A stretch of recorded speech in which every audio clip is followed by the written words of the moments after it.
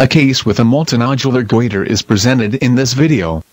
The right lobe contains among others, a hypoechogenic lesion in the middle dorsal part, and a larger hyperechogenic nodule in the lower pole. The hypoechogenic one contains hyperechogenic granules, no vascularization could be detected. The left lobe is so enlarged that we had to reset the depth.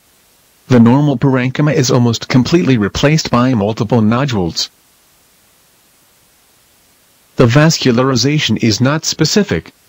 On longitudinal view we tried to visualize the lower pole of the lobe, but it was not successful.